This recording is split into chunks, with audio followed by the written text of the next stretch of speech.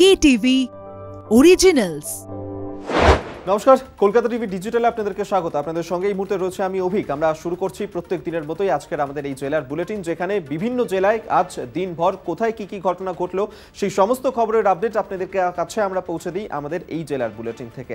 তাহলে শুরু করা যাক আজকের এই জেলার সফর। প্রথমে শান্তিনিকেতনের দিকেই নজর রাখব, কারণ শান্তিনিকেতনে সেখানেই বিতর্কের আর এক নাম হয়ে দাঁড়িয়েছিল বিদ্যুৎ চক্রবর্তী। হ্যাঁ অধ্যাপক বিদ্যুৎ চক্রবর্তী, তিনি উপাচার্যের মেয়াদ শেষ হতেই এবার মাঠে নামলো বিশ্বভারতীর প্রাক্তনী এবং প্রবীণ আশ্রমিকরা।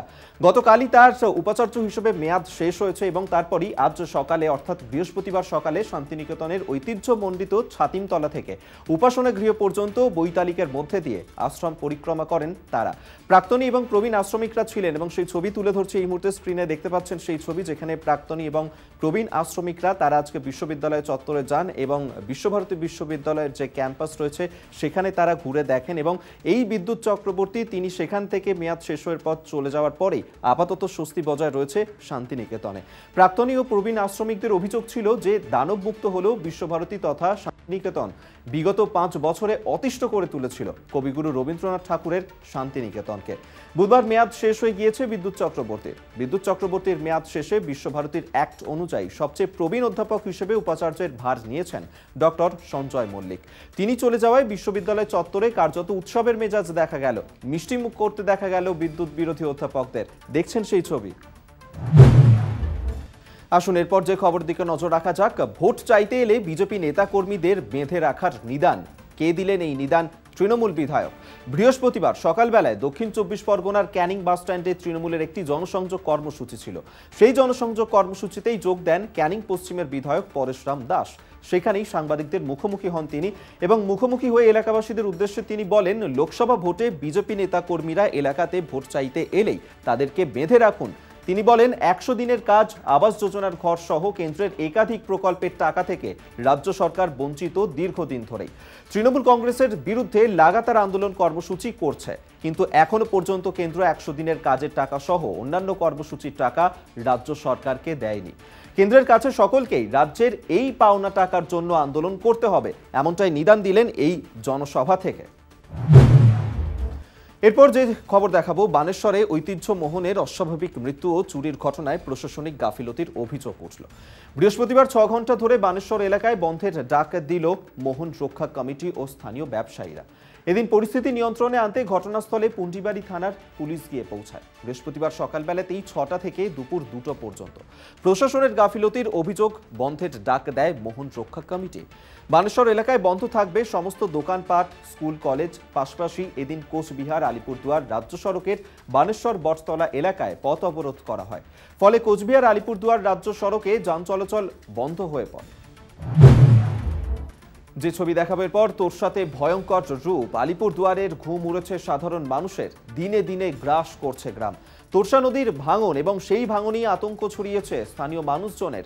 আলিপুর দুয়ারের কালচিনির বাসিন্দারা তারা যথারীতি আতঙ্ক এই মুহূর্তে ভুগছেন যেভাবে তোরসা নদীতে ভাঙন দেখা দিয়েছে। নদীর পার ভাঙতে ভাঙতে অসহায় গ্রামবাসীদের জমি, ঘর, বাড়ি, চাষের ক্ষেত, বাগান ইতিমধ্যেই ভেসে গিয়েছে তোরসার জলে। আজকে সেই সমস্ত স্থানীয় মানুষজন তারা তোরসার পারে যান। এভাবে যেভাবে নদী ভাঙনের ছবি তারা দেখছেন দিনের পর দিন এবং আতঙ্কে ভুগছেন তারা এবং তারা দাবি তুলছেন স্থায়ী বাঁধ যাতে সেখানে নির্মাণ করা হয়। আতঙ্কিত আলিপুরদুয়ারের জেলার কালচিনি ব্লকের দলসিংপাড়া রন বাহাদুর বস্তির বাসিন্দারা। এই এলাকার পাশ দিয়েই বয়ে গিয়েছে তোরসা নদী। এলাকায় সারা বছরই তোরসার জল দেখা যায়। এই তোরসা নদীর পাড়েই প্রতি বছর ছট পুজোর আয়োজনও করা হয়। দলসিংপাড়ার পাশাপাশি জয়গার ছট ব্রতীরা আসেন এই এলাকায় ছট পুজো করতে। তবে এবছর নদীর জল গ্রামে প্রবেশের মুখে কোথায় ঘাট তৈরি করা হবে কিছুই বুঝে উঠতে পারছেন না ছটব্রতীরা এই পরিস্থিতিতে কীভাবে ছট পুজোর আয়োজন হবে তা নিয়েই আশঙ্কা রয়েছে স্থানীয় মানুষজনেরও। এরপর যে ছবি স্ক্রিনের সামনে তুলে ধরছি, বেহাল রাস্তার ছবি। দিনের পর দিন এই একই অবস্থা দেখা যাচ্ছে, বেহাল অবস্থায় পড়ে রয়েছে এই যাতায়াতের রাস্তাটি। স্ক্রিনে দেখছেন সেই ছবি। কোথাকার এই ঘটনা বলব? আর সেই কারণেই নাকি বিয়ে হচ্ছে না গ্রামের ছেলে মেয়েদের। এমনই কথা শোনা গেল পূর্ব বর্ধমান জেলার মেমারি এক ব্লকের দেবীপুর পঞ্চায়েতের পুষ্ণ গ্রাম সাঁতরাপাড়া এলাকার বাসিন্দাদের কাছ থেকে। ভেবেছেন, শুনেছেন এরম ঘটনা যেখানে রাস্তা খারাপ, কিন্তু তার জন্যেই গ্রামের মানুষজন, গ্রামের ছেলে মেয়ে তাদের বিয়ে হচ্ছে না। বিয়েতে সমস্যা হচ্ছে। এই ঘটনাই ঘটেছে সেখানে। শুধু তাই নয়, রাস্তা খারাপের কারণে কোনো অ্যাম্বুলেন্সও ঢুকতে চাইছে না গ্রামের মধ্যে। বেহাল রাস্তা সংস্কারের দাবিতে একাধিকবার পঞ্চায়েত প্রধানকে অভিযোগও জানিয়েছেন, কিন্তু কোনো লাভ হয়নি। সাতরাপাড়া এলাকায় পঞ্চাশ থেকে ষাটটি পরিবারের প্রায় দু থেকে আড়াই হাজার মানুষের বসবাস।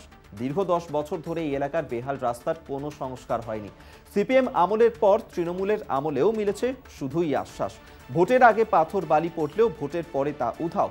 বেহাল রাস্তার বেহাল রাস্তার কারণেই এলাকার ছেলে মেয়েদের বিয়ে হচ্ছে না বলেই জানান এলাকার বাসিন্দারা এবং এই বেহাল রাস্তার কারণেই অ্যাম্বুলেন্সও সেই এলাকায় ঢুকতে চাইছে না, যার কারণে রোগী, রোগীর পরিবহন তারা সমস্যায় পড়ছেন। একাধিকবার তারা দাবি জানিয়েছেন যে বেহাল রাস্তার ছবি স্ক্রিনে তুলে ধরছি তা সারাইয়ের জন্য, কিন্তু এখনও পর্যন্ত শুধুই মিলেছে আশ্বাস। এরপর আবহাওয়ার খবর দিকে নজর রাখা যাক। কালী পুজোতে শীতের আমেজ রাজ্য জুড়ে ভাই ফোটাতেও কি আবহাওয়া একই রকম থাকবে, নাকি বৃষ্টির সম্ভাবনা? কি বলছে আলিপুর আবহাওয়া দফতর জানা যাচ্ছে, মনোরম পরিবেশ থাকবে কালী পুজোতে। পরিষ্কার আকাশ এবং হালকা শীতের আমেজ বজায় থাকবে ভাই ফোটাতেও। তবে আজ বৃহস্পতিবার কলকাতার সর্বনিম্ন তাপমাত্রা ছিল চব্বিশ দশমিক ন ডিগ্রি সেলসিয়াসের কাছাকাছি। সর্বোচ্চ তাপমাত্রা বত্রিশ দশমিক এক ডিগ্রি সেলসিয়াসের আশেপাশে উত্তরে হাওয়া বইতে শুরু করেছে। তাই শহর ও জেলায় জেলায় হালকা শীতের আমেজ তবে এই কিছুদিন দক্ষিণবঙ্গে বৃষ্টির সম্ভাবনা একেবারেই নেই। আগামী চব্বিশ ঘন্টায় বেশ কিছুটা পারদ পতন হতে পারে এমন সম্ভাবনা রয়েছে। অর্থাৎ এই কয়েকদিন কিন্তু হালকা শীতের আমেজ উপভোগ করবেন রাজ্যের মানুষজন। কলকাতায় কুড়ি থেকে একুশ ডিগ্রিতে আর পশ্চিমের জেলাগুলিতে সতেরো থেকে আঠেরো ডিগ্রিতে নেমে যাওয়ার সম্ভাবনা রয়েছে, তাপমাত্রার পারদ জেলার বুলেটিন আমরা আজ এখানেই শেষ করছি। তবে আমাদের এই জেলার বুলেটিন, আমাদের বিভিন্ন জায়গার, বিভিন্ন জেলার যে খবর আপনাদের সামনে আমরা তুলে ধরছি প্রত্যেক দিন।